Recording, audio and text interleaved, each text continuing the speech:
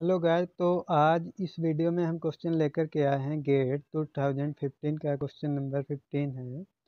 अब देखिए, इसमें लिमिट का एक छोटा सा कॉन्सेप्ट यूज़ होता है, उसके बारे में सारी डिस्कस करेंगे। तो वीडियो शुरू करते हैं।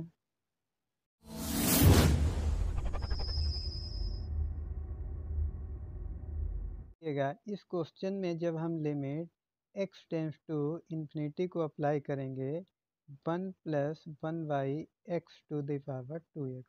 इसमें जब अप्लाई करके चेक करते हैं तो हमें प्राप्त होता है, अगर इसको सॉल्व करें तो one to power infinity form बनती है। देखिए, यहाँ पे जब इन्फिनिटी की जगह एक्स को अप्लाई करेंगे तो one plus one upon zero means sorry one upon infinity means देगा वन, और यहाँ पे infinity one to power infinity होता है।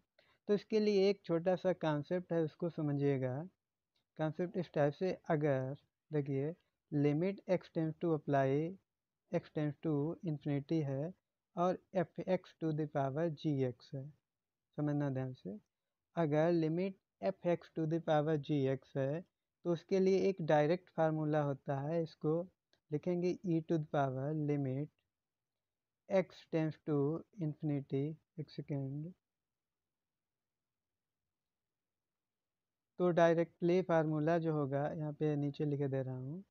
तो डायरेक्टली फार्मूला बन जाएगा e to the power limit x tends to infinity और जो जे वाला फ़ंक्शन है, इसमें लिख देंगे f x minus one f x minus one into g x हो जाएगा। डायरेक्टली इसमें अप्लाई करिए और जो है डायरेक्ट रिज़ल्ट मिल जाएगा। तो हमारा जो क्वेश्चन है, इसको देखिएगा क्वेश्चन है one plus one plus one upon x to the power two x तो इसको सॉल्व करते हैं, देखिएगा।